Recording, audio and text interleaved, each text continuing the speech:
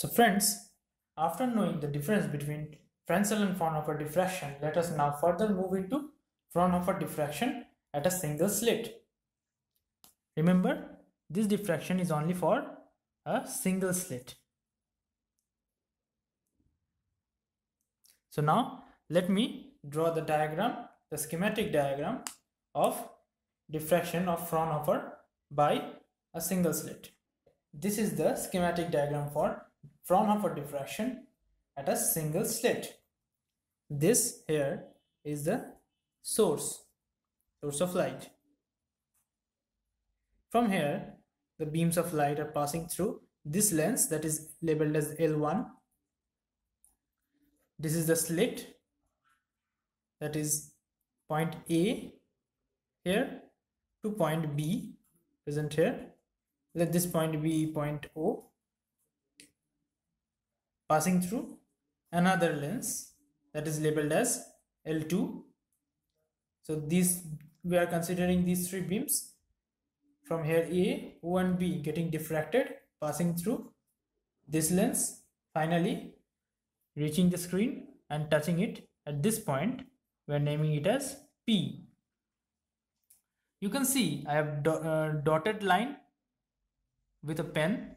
I have drawn this to show you that if this lens would not be there then the behavior of light would be through this dotted path and let this point that should be the destination of light beams be O dash. So the distance between P and O dash, let this distance be considered as xn. So this is our screen.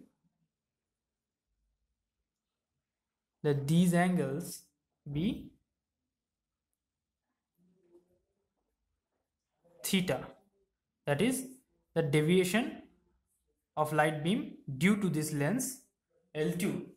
So this schematic diagram shows apparently how the Fraunhofer diffraction arrangement works. So after understanding the diagram, let us now understand the process very briefly.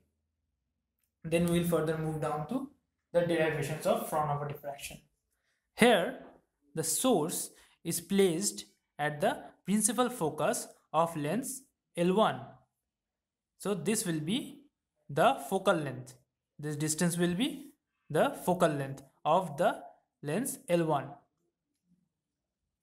Hence, by the laws, this rays that are arriving from the source that are kept in the principal focus of lens L1 and the lens L1 hence turn these rays into straight light beams.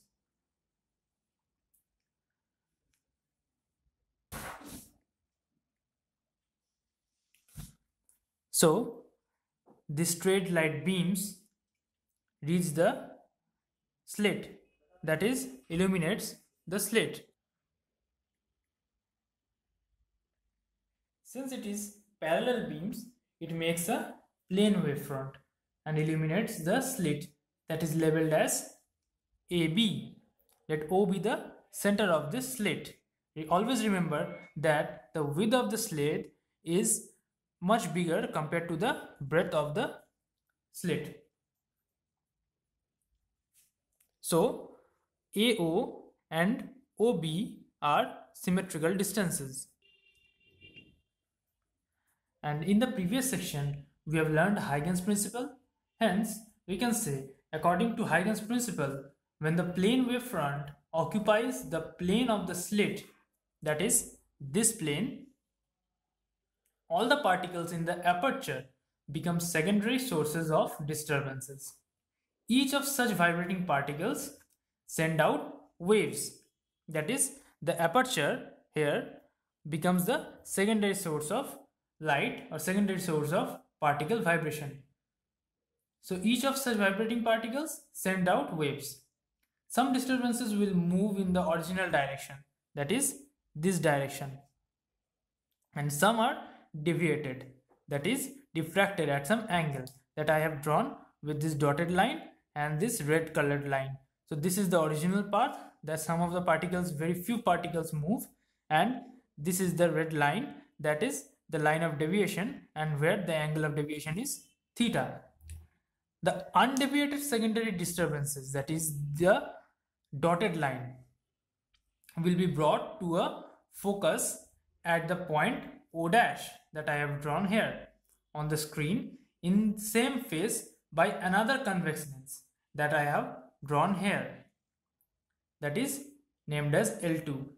Hence, the undeviated disturbance give rise to central maximum at point O dash. So, we have got the central maxima or the central maximum point at O dash. Here is the central maximum point that is made by the undeviated light beams. But the secondary disturbances, those diffracted through a certain angle, that is this angle.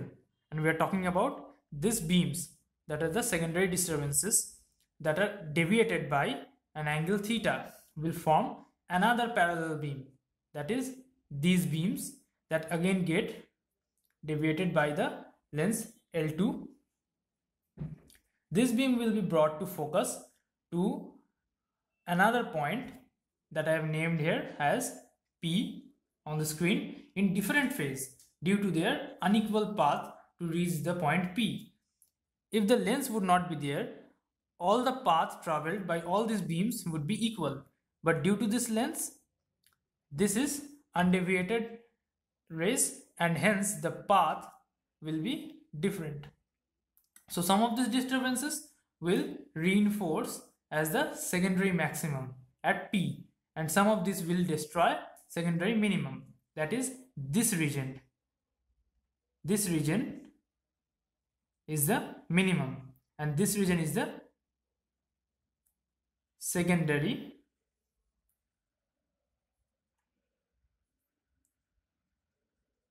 minimum. So here we have got the central maximum that is the primary maximum and here at P we have got the secondary minimum.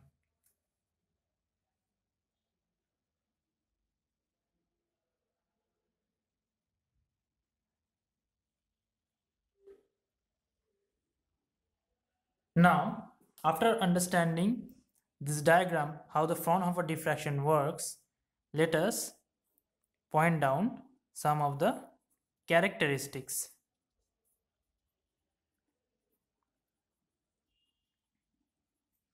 of Fraunhofer diffraction.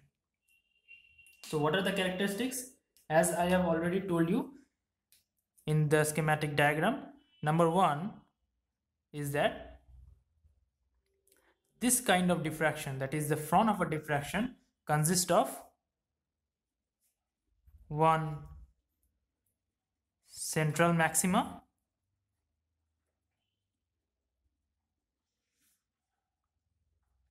that is here in our diagram labeled as O dash followed by alternate secondary maxima and minima on either side. So only one will be central maxima and then there will be secondary minima and secondary maximum in the both side. So followed by secondary maxima or minima.